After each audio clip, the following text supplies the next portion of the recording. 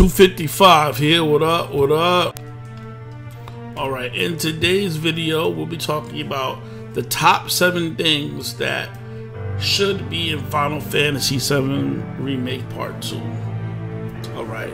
Number seven, play as Sephiroth. They can have us play as Sephiroth leading up to Kalm, and then have us switch over to Cloud, but still give us the option of playing as Sephiroth as we go through Cloud's hometown.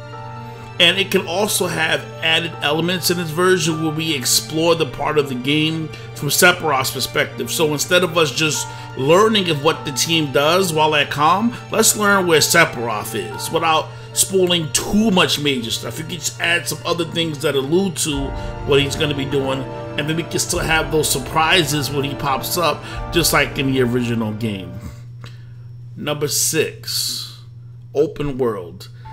The original Final Fantasy VII was an open world game, kind of, after a certain part.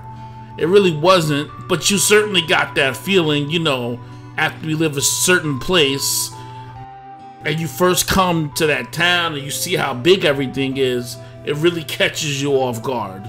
In the open world, there can be new enemies as well as old materia and new materia hidden in places. And guess what? Why not have a bunch of new towns between Kalm and a certain friend in a marshy place? In fact, if they wanted to, they got a bunch of new towns or maybe even a hidden boss, but I get that fans may not be too excited about that after Final Fantasy VII Remake added a certain scene with certain ghosts at that uh, train graveyard. We don't want that. We want good quality stuff. All right, number five, side quests that introduce more side quests like the one where we were chasing the cat.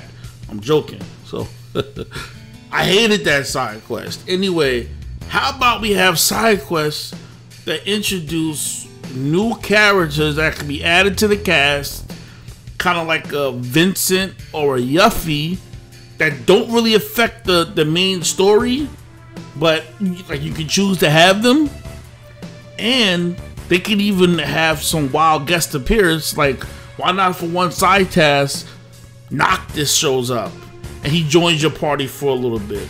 And maybe he's an optional character. It's a very smart way for uh, Square Enix to introduce people to other Final Fantasies. Can have Lightning showing up, and maybe one of the guest bosses from uh, Final Fantasy 14, right? I mean, they can get really creative with it. They have lots. Final Fantasy 7 is a big enough universe where it doesn't need a lot of uh, guest appearances but it is the Final Fantasy that put Final Fantasy on the map. So I can see why it would deserve it. Okay, number four, Gold Saucer. And for the Gold Saucer, I want to see all the old mini games, but of course we gotta include new ones. But just like the original Gold Saucer that was in Final Fantasy VII, what really matters the most, what I want to actually see, is rewards like in the original, where you can get Cloud's Omni Slash, and there was really strong um, accessories early in the game, like the championship belt and different materia that you can get. So they Square Enix was smart. They didn't give us a bunch of games to say, all right, waste your time, good luck. No, they gave us a bunch of games and they tied really important materia and rewards to it.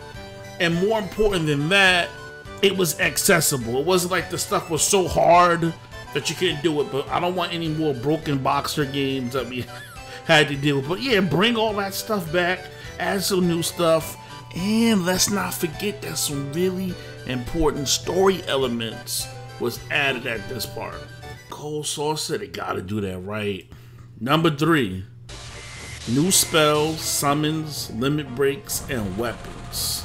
I can't wait to see what Knights of the Round Table animated is gonna look like in Final Fantasy VII Remake. They can do with the Cosmo Cannon and uh, the water, the around, but there's so much they can do.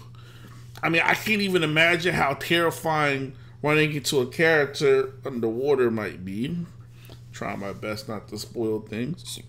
But uh, we definitely need new summons and limit breaks and weapons. Not like some of those summons we saw in Final Fantasy Remake Part 1 were okay. Let's really get crazy with these. Number two, set up a foundation for Final Fantasy VII as an MMORPG. Now, look, hear me out. They tried to do this with um, Final Fantasy 15, and that didn't exactly turn out. But this way, we can do it different, where you can actually play the game together as friends, and they can just add DLC content. Like you can create a character and take your actual material from your actual game characters in the game and put them in, or have your character be part of the party. I mean, I don't see. I I forgot. I think I heard a developer said this is just rumor speak that they were prepared to write for Final Fantasy for the rest of life. If Final Fantasy 14 can be a successful MMORPG, I believe Final Fantasy 7 as a standalone game can be a uh, pretty good standalone famous MMORPG. Okay. And now for a drum roll.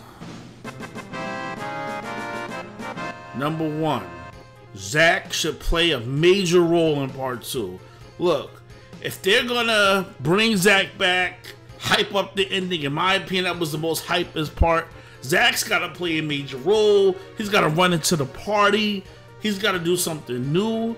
But it would be an absolute crime not to have Zack play a major role in the story. And in fact, he can be one of the hidden, well, not hidden DLC. He has to be. He should be. We should be able to play with him. Um, you know, we, we should. And he can play major parts in the story. Just switch things up, have an option of playing it through Zack's point of view, kind of like Sephiroth. But there's so many options. But no matter what, Zack needs to play a major role in part two. All right, Deep Minds, uh, thank you for being here with me. Please leave a message at the bottom in the comments. What are some of the things you want to see in part two? Don't forget that on Thursday, I, I left a link. Um, I'll leave the same link I left on my other video uh, with the information for when it's. But on Thursday, I think it's 5 p.m. PST time. Uh, we can expect a 10 minute celebration of Final Fantasy VII. That's how they're describing it. Where we are hoping to see Final Fantasy VII Remake Part 2 footage. Anyway, thanks for being part of the DeepMind community. This is DeepMind 255. One, don't forget to like and subscribe. Peace.